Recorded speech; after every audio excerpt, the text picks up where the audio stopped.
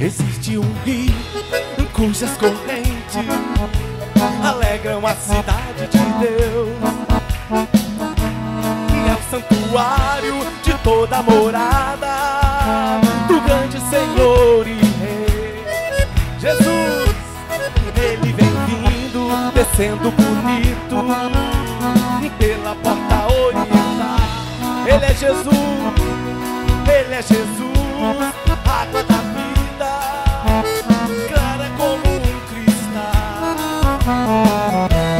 Faça o caminho pra sua alma, receba este rio com muita calma, que ele vem trazendo a paz que você nunca sentiu.